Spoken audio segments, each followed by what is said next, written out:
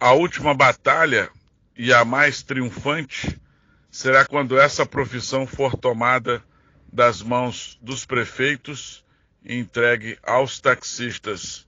Dessa forma, alcançará a liberdade absoluta. Movimento Taxistas Livres.